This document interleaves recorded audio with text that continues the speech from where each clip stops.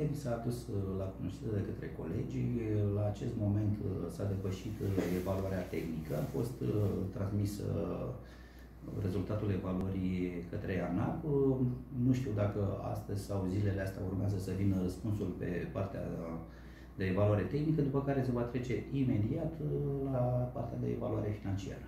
Ținând cont de discuțiile purtate cu viitorul fost operator, există motive de îngrijorare în ceea ce privește continuitatea serviciului din punctul nostru de vedere, nu cred că ar trebui să existe niciun motiv de îngrijorare. Mai mult decât atât, la ultime discuție, discuție care am purtat-o cu reprezentanții Veolia, aceștia și-au exprimat disponibilitatea de a fi alături în situația în care uh, se va atribui un nou operator, uh, de a sprijini și preluarea și în cazul în care după preluare apar anumite dificultăți în gestionare, să vină în sprijinul acestora și să le dea o mână de ajutor în vederea deblocării dacă apar uh, anumite blocaje.